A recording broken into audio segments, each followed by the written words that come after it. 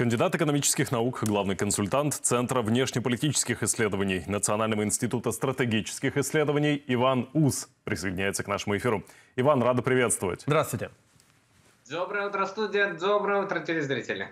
Иван, ситуация с российской нефтью меняется. Вот э, уже те игроки, которые еще относительно недавно совершенно свободно покупали российскую нефть, постепенно отказываются от этого. Ну, первый главный вопрос, почему это происходит? Э, насколько это является настоящей тенденцией или все-таки ну, исключительно редкими случаями?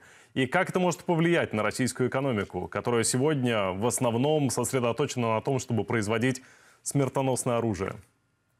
Действительно, углеводороды – это две трети российского экспорта, еще, по крайней мере, в 2022 были году, и я не думаю, что вот сейчас, когда будут данные по 2023 э, что-то изменится. Но единственное, в чем я не совсем согласен с сюжетом, который был в подводке к интервью, это о том, что Россия придумала схему по поводу Индии. Там как раз наоборот.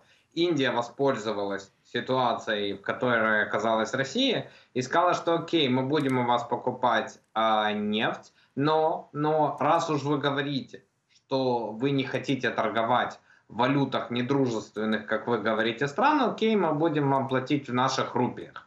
И по сути Россия оказалась заложником ситуации, когда Россия действительно увеличила существенно продажи. Если в 2021 году экспорт российской нефти в Индию составлял порядка 8 миллиардов долларов, то уже в следующем 22 это было 42 миллиарда долларов, но есть нюанс. Э, в долларах мы это говорим, потому что принято мировую торговлю считать доллар США, по факту это были индийские рупии.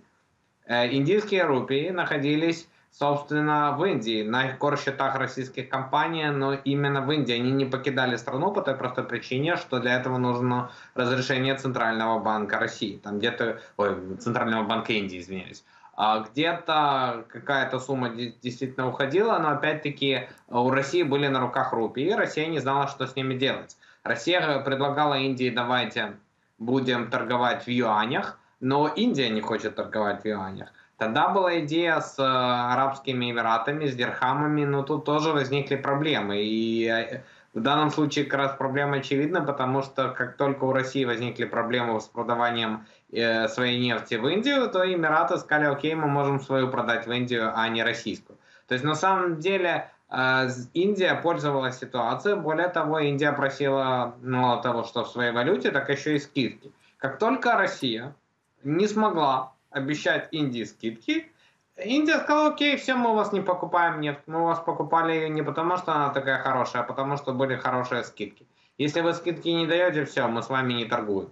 И вот эта ситуация, где сейчас находится Россия плюс, плюс, опять-таки, не надо забывать, что Индия, крупнейшая по населению страна в мире с прошлого года, она все-таки имеет свои отношения со странами коллективного Запада по той простой причине, что у Индии, по сути, только один есть конкурент, это Китай. Более того, они граничат с Китаем и имеют территориальные претензии, что гипотетически может привести к военному столкновению. Индия просчитывает геополитические риски, понимает, что в случае конфликта с Китаем ей нужна будет поддержка, поддержка со стороны вот того самого коллективного Запада, то есть США и Великобритании. Соответственно, идти на конфликт с ними Индия не хочет, и Индия ищет свою, скажем так, место в этой политической игре, где она уж явно не собирается помогать России, и при этом при том, что она сохраняет свою политику, при том, что она получает дешевый нефть, но при этом она хочет э, иметь нормальные отношения с США и Великобританией, соответственно, будет э,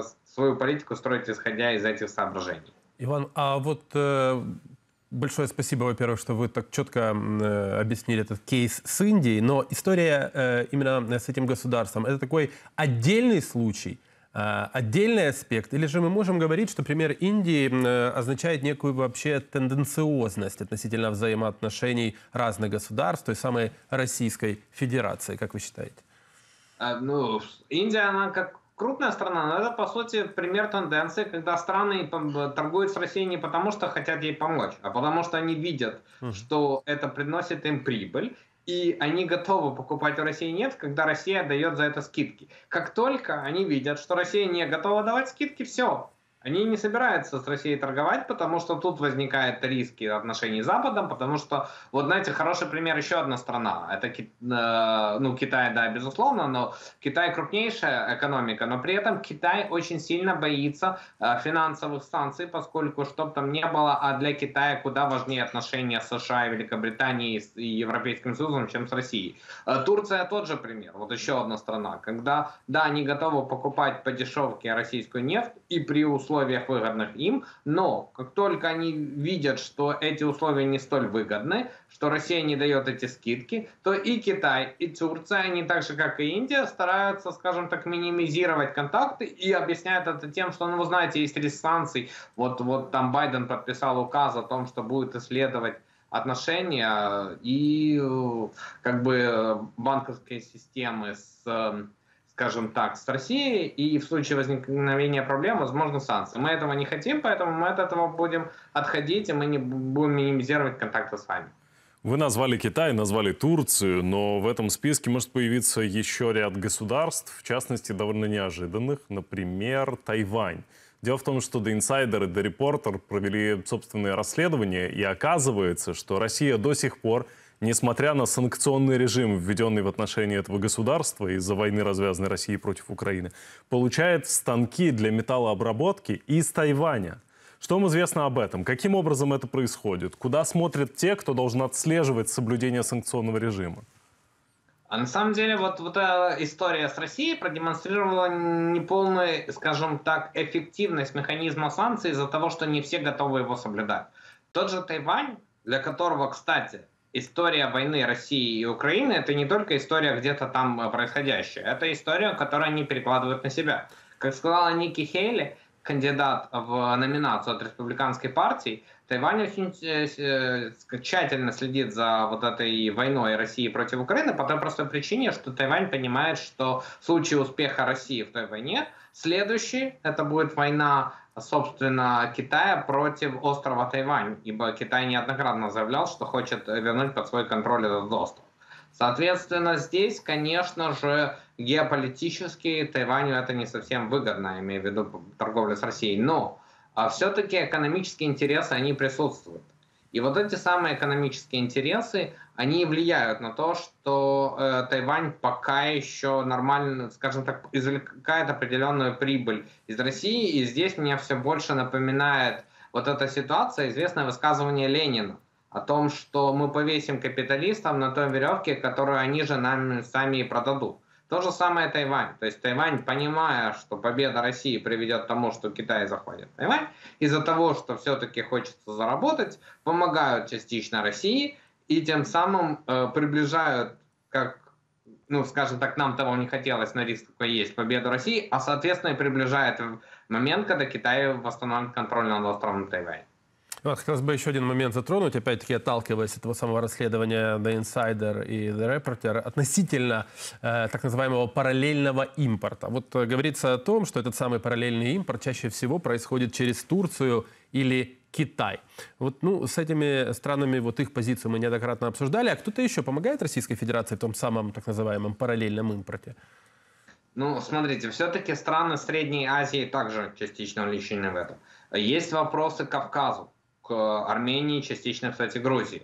А, даже вот казалось бы, Мальдивские острова э, не, не самая, скажем так, ведущая торговая страна в мире, но тем не менее было именно Мальдивские островы были увлечены в том, что через них поступает большая партия микрочипов, э, важных для российской военной промышленности. То есть э, Мальдивские острова тоже являются игроком в, в этой игре. И даже говорилось о том, что в 2022 году Россия увеличила количество авиалиний, авиарейсов между Мальдивами и Россией, не, не исходя из того, что много туристов ездит, а исходя из того, что надо э, получать вот эти самые микрочипы. То есть э, тут еще, кстати, надо будет изучать вопрос Японии.